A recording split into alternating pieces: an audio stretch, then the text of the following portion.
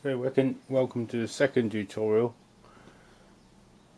where I'm making a um, model from Mudbox and transfer it backwards and forwards from to Maya 2013 and uh, finally rigging it after I've modelled it into a working uh, model where I can um, working character where I can actually film of it. So just a quick recap.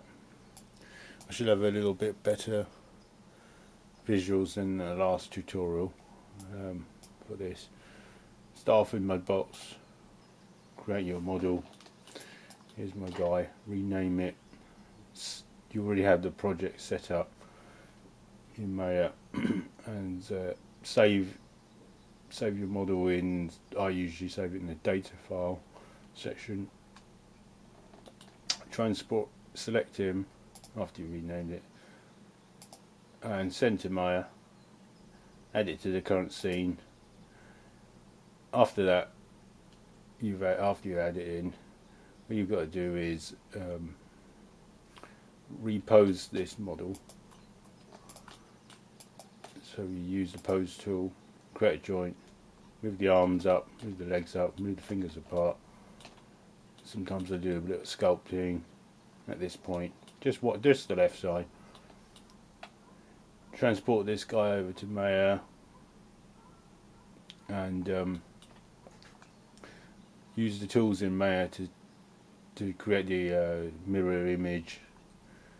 Use the patching up the the patching up of the um, not vertices the edge tool. It's called um, merge edge tool merge edge tool patch up any holes because when you lift the arms up there'll be holes will appear because you've stretched it. And uh, do the UVs see other tutorials fixing UVs and uh, you should have an equally equally sort of precisioned uh, model. Both sides are exactly the same and afterwards you can find a suitable place add more divisions and head and hands and I like to the feet as well.